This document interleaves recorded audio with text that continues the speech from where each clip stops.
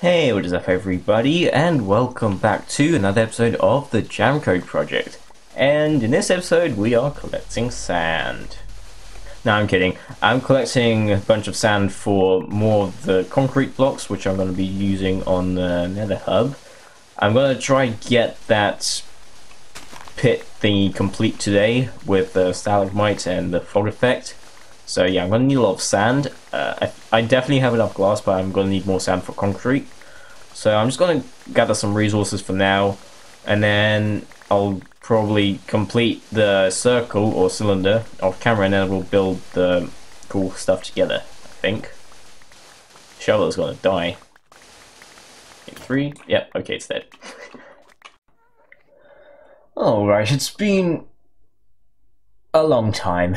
It's it's taken a while to work on this. I had to use up so many resources like you won't believe it. So yeah, it's about time to start working on this stalagmite thing. Let me find the center of this first. It's very hard to see because it's concrete and all looks exactly the same. So this is the middle. Okay. These four blocks are the middle of the whole thing. I think I'm only gonna have one and I'm gonna have it connect to the ceiling, so it's going to be like I don't know, make an arch sort of things. I don't know. Um, so yeah, it's to have that. Um, I'm not quite sure how I'm going to shape it. I think I'm just going to start creating it here.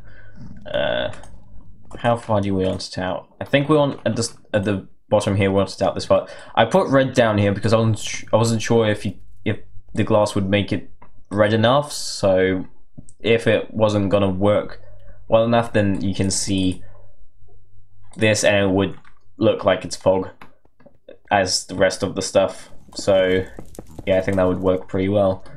I'm gonna try to not make it too symmetrical. Um, so I'm gonna start a different length here maybe. Uh, let's have this side go all the way to here. Um, I need to work on this first before I can put down the glass obviously, so yeah, I guess I'll just get on with it. Off camera again, because it would be too boring for you.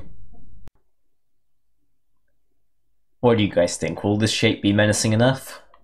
It will, of course, around here, will of course go outwards towards the ceiling uh, to make it look more cool. I just haven't gone to the ceiling bit yet because I don't know how high this will be or what's going to happen of it.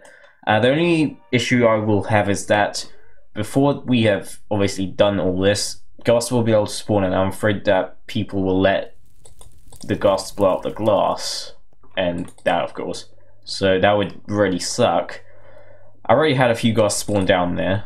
Um, good thing no ghasts will be able to spawn in there or here when the glass is over. But like they'll, it can obviously spawn in the area still. So yeah, I'm gonna have to be careful with that. Uh, I'm gonna start putting in nether brick and this these magma blocks to make it look like it's actually like got lava in it. And I felt okay, no problem. I'm gonna be going up anyway. So yeah, I'm gonna start work on that. The only issue I can see is that um, the magma blocks they emit light, and I'm afraid that will mess up the glass soft glow effect. Um, well, the glass isn't supposed to have any light in it, otherwise I think it will be too obvious that it's glass and won't actually produce the fog effect. Because as you can see, even with the where is it? Smooth lighting being on maximum this isn't very smooth is it?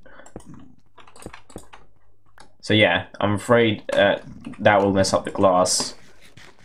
We'll see how it goes